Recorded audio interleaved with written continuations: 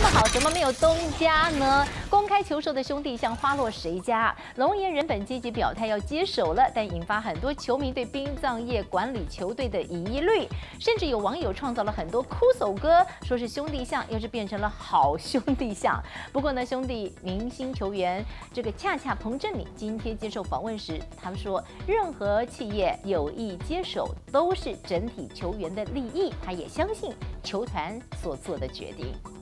很多企业来接触都是一件都是一件好事啊。那毕竟，好，嗯，表示很多企业都愿意对棒球还是抱持着很大的一个一个想法，很好的想法。那我觉得，嗯，现阶段球团有他的一个想法和规划在了。那我我们也球员们也非常相信球团一定会给我们最好的归属的。感觉感觉还蛮有卖点。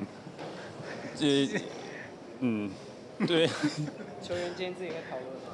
球员现阶段，因为我是自主训练的，那其实还没有到跟球队整体的一个训练。那我是没有听到其他球员在有些声声音的。那我觉得，嗯，网友们的一个创意也不错，我觉得还还蛮有蛮有想法，对啊，嗯。